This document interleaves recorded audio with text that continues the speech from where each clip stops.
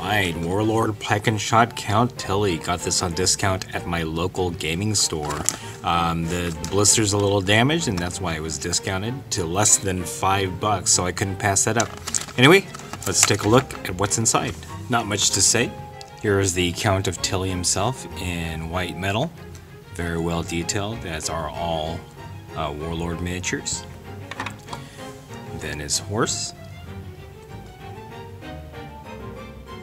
Beautiful figure. And then finally, if you guys can see this, it's a Bible that uh, the Count of Tilly uh, uses or is holding.